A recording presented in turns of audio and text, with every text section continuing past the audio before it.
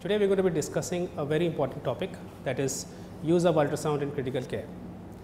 Now we have been having these ultrasound machines for more than 50 years, but over the past 2 to 3 decades its use has been increasingly being done by clinicians at the bedside.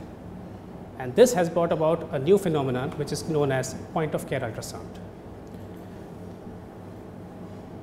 This new event which has developed has come about, this revolution has come about because the ultrasound machines have become more smaller, more compact and more portable and hence are more available on the bedside of the patient and are of more used to the intensivist or the clinicians who are dealing with the patients on a day to day basis.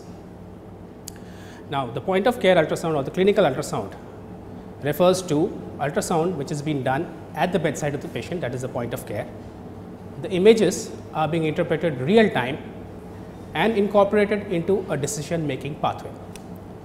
So, given this three facts that it is done on the bedside, the images are interpreted real time and its images are, in, are reviewed by the intensivist and incorporated into a decision making pathway that makes it different from what is a traditional ultrasound.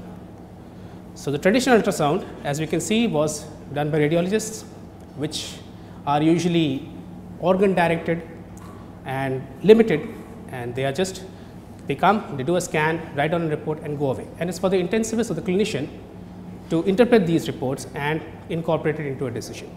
Now, on the other hand, point of care ultrasound, which is done by the clinician, is a limited, often dichotomous, goal directed, problem based examination. So, that is where there is a shift or a change in the paradigm from a totally radiological approach to a clinical based ultrasound approach.